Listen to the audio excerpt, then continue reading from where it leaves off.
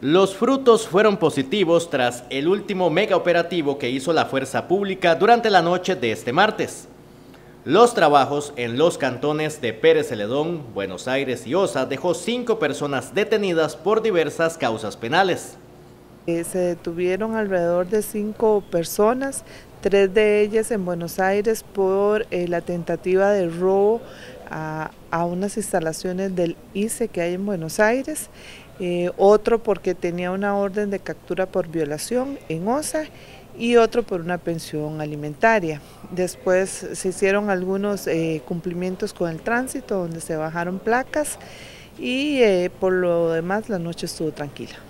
Estos mega operativos siguen siendo muy efectivos, aunque las autoridades policiales lamentaron que por medio de grupos de WhatsApp se esté informando la existencia de estos trabajos.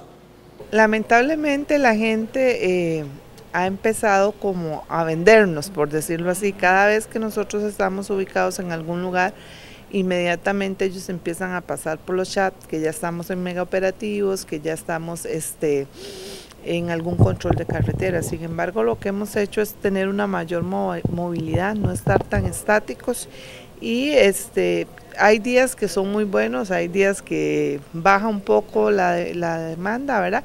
Pero en realidad sí nos ha permitido pues este, dar esa proyección de seguridad a la zona y nos ha permitido obtener algunos réditos importantes en materia de seguridad.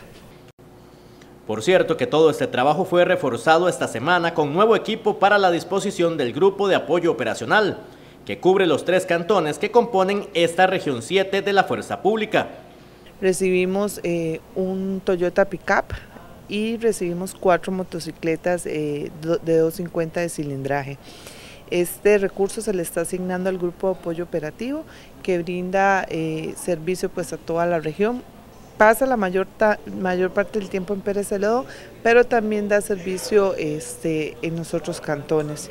Indudablemente viene a ser una herramienta importante, ya que eh, los vehículos ya estaban un poco viejitos, los que teníamos, y de alguna manera pues nos ayuda a aumentar nuestra capacidad de fuerza.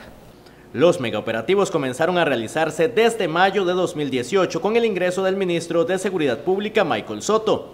Desde ahí, los frutos son buenos con decomisos de productos sin documentación, decomisos de combustible, armas, drogas y personas con causas pendientes.